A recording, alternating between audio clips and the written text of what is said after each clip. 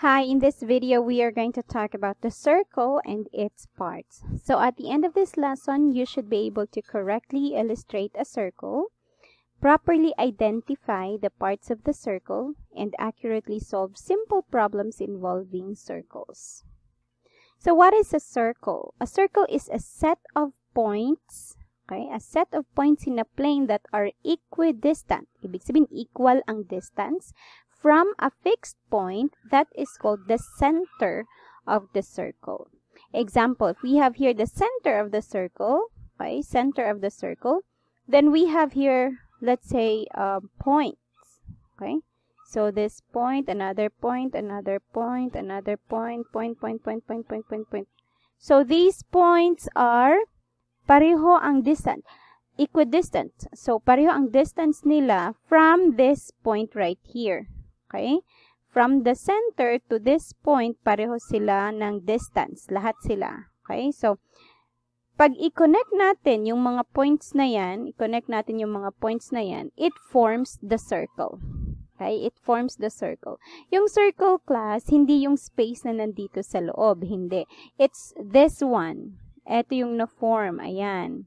So, these are set of points, okay, that have the same distance from the center of the circle. We have what we call the radius or ang plural kapag ka marami, so it's called the radii. Okay, pag marami, radii. So a radius is the distance from the center of the circle to any point on the circle. Let's say we have here a point. Okay? So the distance the distance from the center to this point is what we call the radius. Okay, the radius. It forms a segment right here from the center to the point on the circle and that is called radius. So maraming radius. Halimbawa, there's another point right here.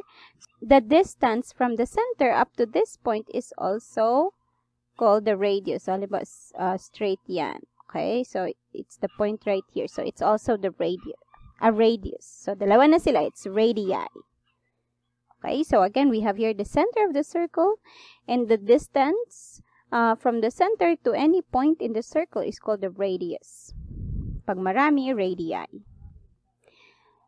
Um, the circumference of a circle, it is the distance around the circle. So, para siyang perimeter, ano, kung regular polygon siya, para siyang um, perimeter.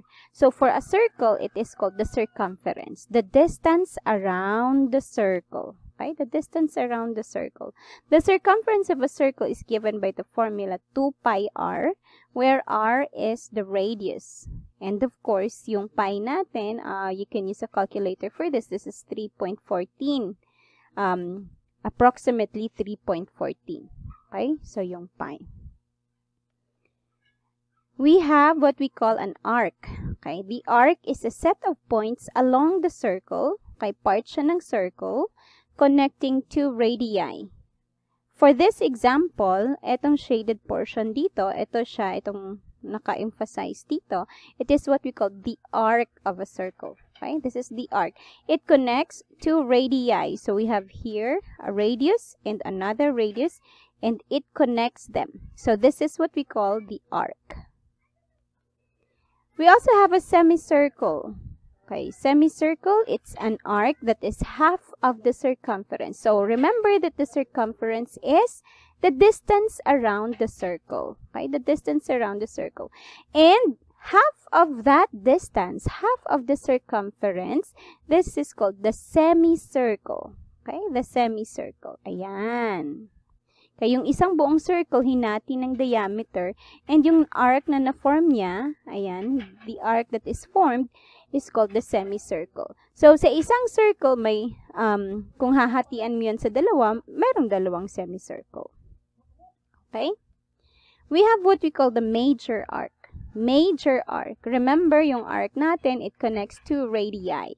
Now, a major arc is an arc that is longer than a semicircle. Longer than a semicircle. Remember that a semicircle is just half of the circle. Half of the circle. Now, more than that, or longer than that, is what we call the major arc.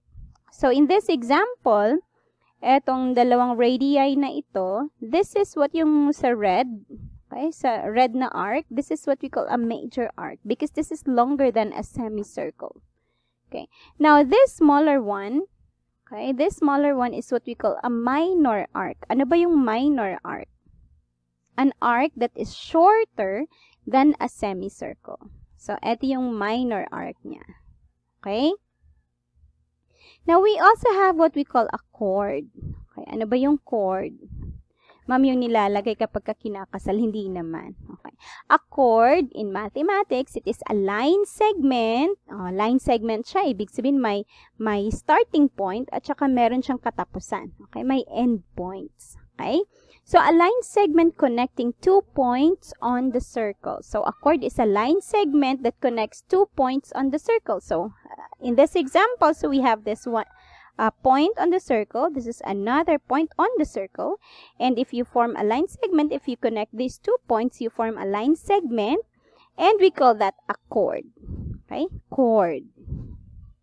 Uh, we can also connect, let's say, uh, we have here another point. So we can form a line segment connecting these two points. Let's say straight line yan. It's very hard for me to draw a straight line using a digital board. Okay, halimbawa, straight line yan. So this is also an example of a chord. Okay?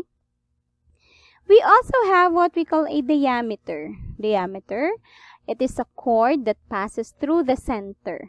Okay? A chord is uh, that passes through the center. So this is the center of the circle. If you connect two points, two points that pass through this center, that is called the diameter. And also, as you notice, halimbawa, we have here um, two points, then you connect that, and that's an example of a chord. And then Eto naman dito. So, if you notice, the diameter is actually the longest chord in a circle. Okay, that's the longest chord because it passes through the center. Ito yung pinaka, pinakamahabang chord sa isang circle. Okay, that's the diameter. Next, we have what we call the secant. Okay, hindi secant, but it's a secant. Okay. A line that intersects the circle at two points. Okay. It intersects the circle at two points. But it it goes forever outside the circle. Hindi kagaya ng chord. Yung chord naman may endpoints hanggang dun lang sa point ng circle. Ang secant, para siyang chord, but it continues outside the circle. Okay? So, secant, it is a line that intersects the circle at two points. Ayan. So, this is an example of a secant. Ito siya. Andito yung point sa circle. Ayan. But the line goes uh, forever no outside the circle. Okay? It extends outside the circle. So, it's a secant. Pwedeng uh, ganyan. Okay? So, it's a, an example of a secant. Pwede naman ganito. Secant. Another example would be, alright. But, um, yung kaibahan lang niya sa chord, ang chord hanggang dun lang sa uh, end point ng point sa circle. But a secant, it goes forever outside.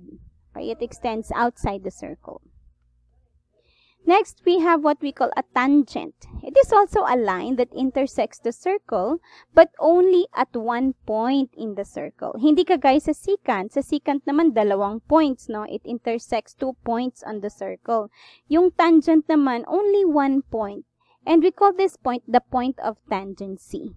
Okay? We call this point as the point of tangency. Okay? Kasi dito nag-intersect ang circle at saka yung line mismo. Okay?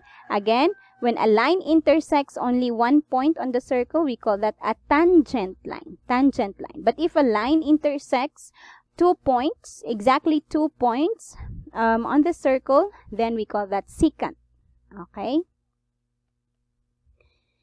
We have what we call inscribed angle. Angles naman tayo. Inscribed angles are angles that are formed by two chords whose vertex is on the circle. So, we have here a chord, another chord, and the vertex ng angle ay nasa circle mismo. It's a point of the point on the circle.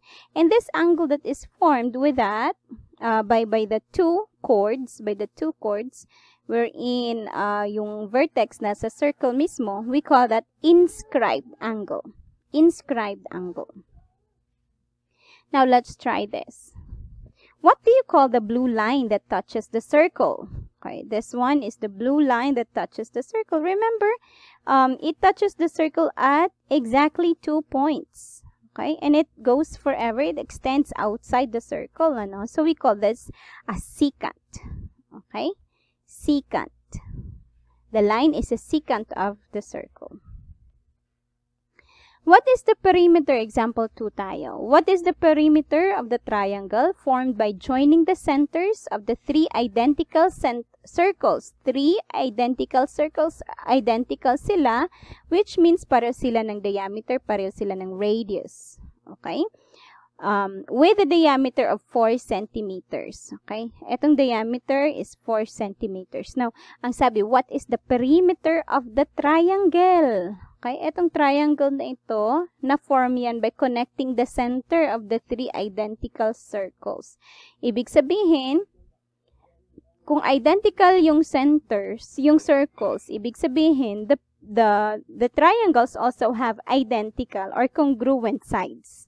Okay, so, this is equal to this side and to this side. So, the three sides of the triangle are equal. Now, if we compute for the perimeter of the triangle, since equal silang tatlo, that is just perimeter equals 3s. Okay? 3s or side plus side plus side. Okay, so tatlong side. Now, um, paano natin makukuha kung anong measurement ng side na ito? Okay. Remember that uh, the circles I are identical. So, if if this is the, the center of the circle, meaning this is a radius, okay, a radius of the circle. If this is the center, this is also the radius. Okay, so dalawang radius yan, ibig sabihin, ang 2 times the radius, that's the diameter. Okay, and that is equal to 4 centimeter. Again, this is one radius, this is another radius, so diameter is just twice the radius. Okay, twice the radius of the circle. So, Ibig sabihin, this is 4 centimeter. This is also 4 centimeter. And this is also 4 centimeters. And so, that's 3 times 4. Alright, and so we have 3 times 4 is 12 centimeters. So the perimeter of the triangle is 12 centimeters.